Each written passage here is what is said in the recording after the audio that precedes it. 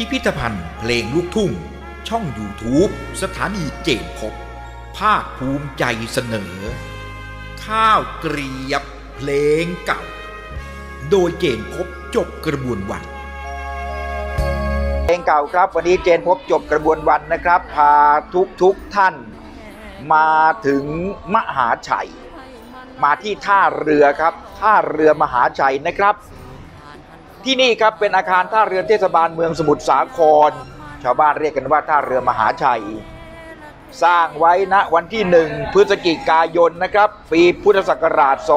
2506 ครับผมทำไมต้องมาที่นี่ เพราะจุดนี้บริเวณนี้แหละครับ เป็นต้นกำเนิดของเพลงโด่งดังอย่างยิ่งเพลงหนึ่ง เมื่อราวๆปีพุทธศักราช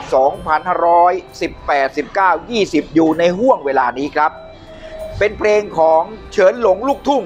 คำพีแสงทอง จะเป็นเพลงอะไรนะครับ ไปครับเราออกท่าเรือกันเลยครับ ตามผมมานะครับ ขณะนี้ วันนี้อากาศจ้าหน่อยนะฮะ เล็กน้อย สภาพของท่าเรือนี้อาจจะมีการเปลี่ยนแปลงไปไม่เหมือนเดิม แต่สิ่งที่เหมือนเดิมก็คือตรงนี้แหละครับคือท่าเรือมหาชัย ซึ่งผู้คนสมัยก่อนนั้นถนนเส้นนู้นมันยังไม่มีความเจริญมันยังไม่เกิดขึ้น ถนนที่จะตัดไปที่แม่กลองสมุทรสงคราม คนจะไปแม่กลองสมุทรสงครามต้องมาลงเรือที่นี่ครับนี่ครับ นี่คือเรือข้ามฟาก เรือข้ามฟากจากท่าเรือมหาชัย ไปฝั่งนู้นเห็นไหมครับ มีเรือเขียวๆเหมือนกันนั่นแหละครับฝั่งนู้นคือท่าเรือที่เขาเรียกกันว่าท่าฉลอม ฝั่งนู้นนะครับคือท่าฉลอม ซึ่งอยู่ในเขตสมุทรสงครามหรือว่าแม่กลอง ยังไม่ถึงแม่กลองดีครับ เพราะว่าเป็นแค่ท่าฉลอม พอข้ามไปปั๊บก็จะไปขึ้นรถไฟ แล้วนั่งรถไฟไปลงที่แม่กลอง จุดนี้แหละครับ บรรยากาศตอนนั้นคัมภีแสงทองเขามาที่นี่ เพราะว่าพี่ชายของคัมภีแสงทอง สอบครูได้ ก็เลยต้องไปสอนหนังสือที่โรงเรียน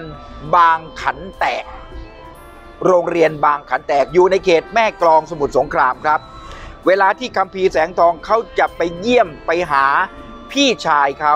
เขาต้องนั่งรถมาลงที่นี่ ที่ท่าเรือมหาชัยแห่งนี้ เพื่อที่จะข้ามฟากไปแม่กลองแล้วก็ไปต่อรถไฟ เพื่อไปหาพี่ชายของเขาที่โรงเรียนบ้านบางขันแตก นี่แหละครับคัมภีเขาเล่าให้ผมฟังว่า เขามายืนอยู่ที่นี่ เพื่อรอที่จะข้ามฟาก บรรยากาศของ เขตลุ่มน้ำในย่านนี้ บรรยากาศในสมัยนั้นมันก็คงไม่พลุกพล่านแบบนี้นะครับ คงจะเป็นธรรมชาติ มีเรือตังเกที่จะแบบจับปลงจับปลาหาปลามาแล้วก็มาจอดกันอยู่ในบริเวณนี้ แรงบันดาลใจของเขาทำให้เขาเขียนนวนิยายรักขึ้นมา นั่นก็คือช้ำรักมหาชัย บทเพลงที่โด่งดังยิ่งใหญ่ของคัมภีร์แสงทอง ในห่วงเวลาก่อนปี 2520 ซึ่งผมมั่นใจว่าคนไทยทั้งแผ่นดิน คงรู้จักเพลงนี้เป็นอย่างดี แต่อาจจะไม่รู้ว่า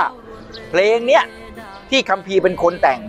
เขามายืนอยู่แถวนี้แหละครับ ที่เจนพบกำลังยืนอยู่เนี่ยเมื่อก่อนเนี่ยคัมภีร์ยืนตรงนี้เจนพบก็มายืนตรงนี้เช่นกัน ที่ท่าเรือมหาชัย